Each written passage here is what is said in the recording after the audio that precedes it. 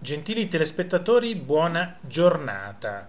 Il ormai famoso chef Rubio, più che per i piatti che cucina, è famoso per le aggressioni e gli insulti a Salvini che gli hanno portato una certa notorietà inizialmente e anche contratti televisivi.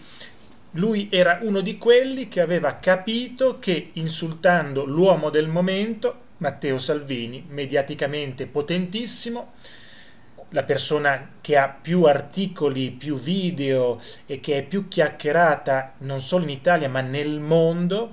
Alcuni giornali molto prestigiosi lo davano come una delle persone più influenti nel mondo e alcuni lo davano come la persona più influente del pianeta. Lui aveva capito che insultando Salvini avrebbe comunque avuto un riscontro e ha continuato giorno dopo giorno.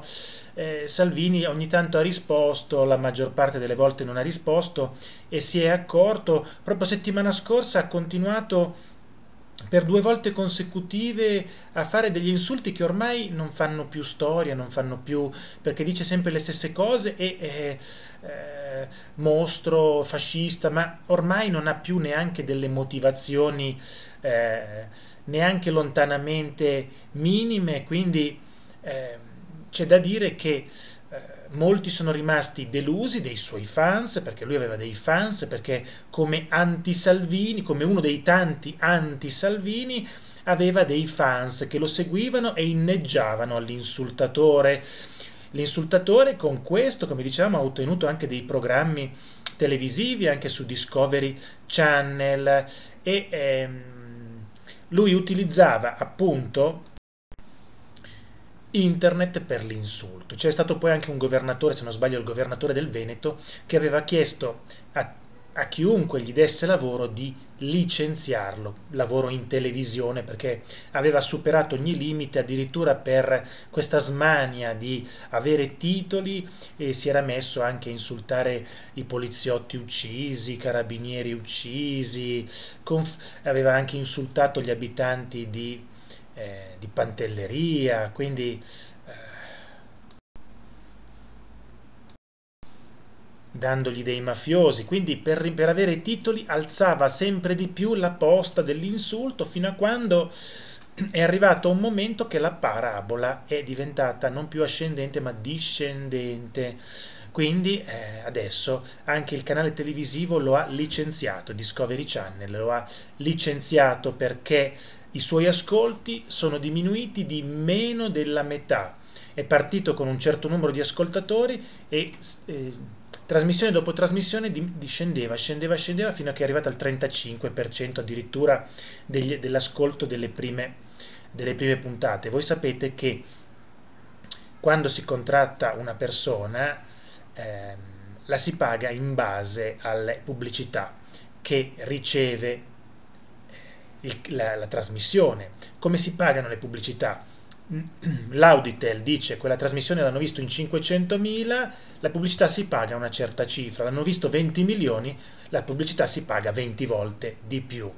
Quindi c'è una parte fissa nelle pubblicità più una parte variabile che è quella in base agli ascolti che riceve. Quindi quando hanno cominciato questa trasmissione con lui, lo, lo hanno ingaggiato, attenzione, non c'è solo l'ingaggio del conduttore, c'è tutto quello intorno, lo studio televisivo, i tecnici, la luce, tutto, tutto quello che costa un programma e se le pubblicità non sono consistenti e non riescono neanche a eh, eguagliare i costi di gestione, a quel punto, come succede anche in RAI, in Mediaset, i programmi, vi è capitato qualche volta qualche programma che vi piaceva, all'improvviso viene cancellato, senza dire niente, sparito. E questo succede, voi dite, ma come era un bel programma, magari era un bel programma per voi, ma non lo guardava quasi nessuno. E quindi questa è la logica delle pubblicità. Quindi la voce che fosse stato licenziato Chef Rubio eh, è esplosa sul web, è stata condivisa migliaia eh, di volte e questo lo ha detto perché ancora non c'è stata nessuna dichiarazione ufficiale di Discovery Channel e neanche nessuna dichiarazione ufficiale del, dello chef Rubio, ma lo dice questo eh, Dominique Antonioni. Lui che è un noto critico che ha lanciato la bomba nel suo blog, ripresa poi centinaia di volte attraverso i social, poi diventata una notizia e Antonioni dice Chef Rubio è stato amorevolmente accompagnato alla porta da Discovery Channel. So anche il nome del sostituto, però una notizia buona alla volta. Oggi godiamoci questa, cin cin. Comunque al suo posto ci va un vero e proprio chef. Attenzione, quindi da quello che leggiamo apprendiamo che non è stata sospesa o cancellata la trasmissione, è stato proprio cambiato lui, quindi proprio per una scelta etica e morale. Un, un insultatore di questo calibro eh, è meglio allontanarlo, fa più, eh, un, fa più eh, danno che eh, un beneficio per qualunque eh, televisione. Chef Rubbio attualmente è impegnato nella sua storica trasmissione Unti e Bisunti, che ha un buon riscontro di pubblico. Come dicevamo, il suo territorio di rivolta sono i social eh, network, dove i suoi post esprime spesso le sue opinioni in maniera eh, aggressiva, offensiva, e soprattutto dicevamo contro Matteo Salvini perché è una cassa di, di risonanza enorme e hanno destato clamore le sue parole contro i, bo- i, poliziotti barbaramente uccisi all'interno della questura di Trieste da un extracomunitario. Eh, nel mirino dello chef, sempre più oratore politico che cuoco, anche il comportamento degli italiani, a suo dire pecora tricolore del diabolico e mafioso pastore, come ha scritto in un tweet proprio qualche tempo fa. Adesso vi leggo questo tweet e lo commentiamo.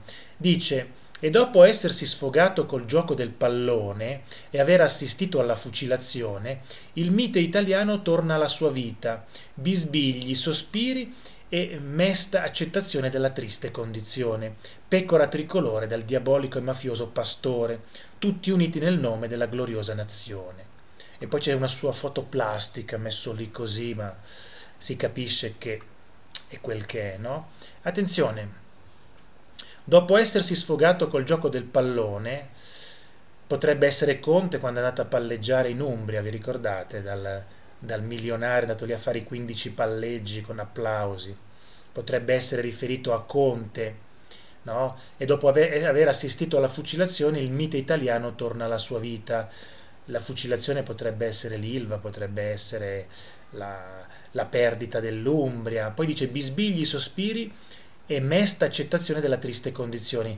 Pecora tricolore è riferito agli italiani, no?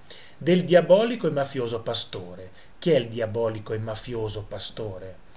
Eh, potrebbe essere riferito al Presidente del Consiglio, perché il pastore, chi è? È il capo del gregge e il capo del governo è, è eh, Giuseppe Conte. O il mafioso pastore potrebbe essere indicato Salvini come capo del partito che ha più voti tutti uniti nel nome della gloriosa nazione. Però, vabbè, non stiamo qui a parafrasare i poemi di Chef Rubio come se fosse Manzoni, come se stessimo leggendo, non so, il paradiso di Dante, no? Le, cercando di interpretare ogni frase, perché probabilmente così gli diamo più importanza di quella che gli si deve dare. Ma sul web sono più le persone che lo vedono come un personaggio negativo e non adeguatamente informato, che è una persona positiva ed è proprio questo che Discovery Channel ha eh, notato, rilevato e lo ha comunque licenziato. Molti dicono, ad esempio, qualcuno ti hanno scaricato, quanto mi dispiace, adesso il tuo bambino ha forma di mortazza, come lo mantieni? Sono addolorato e mi dispiace molto con sarcasmo. Un altro utente scrive il cuoco sputa veleno è stato licenziato. Un altro dice ottima notizia, anche se ora farà la vittima da censura e griderà al complotto.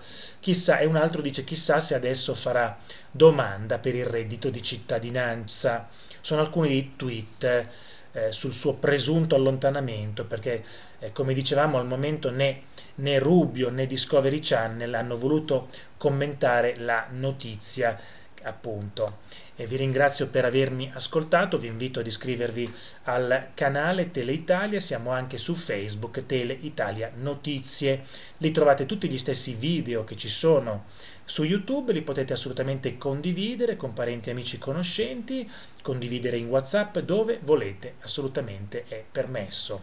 Vi ringrazio per avermi ascoltato e vi auguro buona giornata. Arrivederci.